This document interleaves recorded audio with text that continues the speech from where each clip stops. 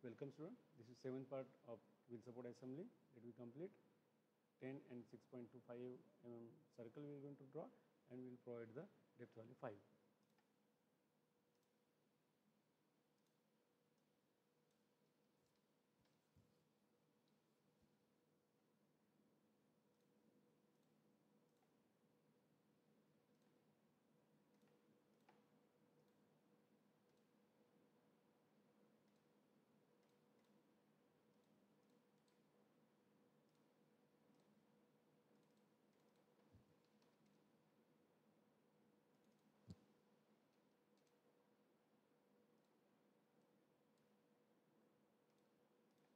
Depth value 5.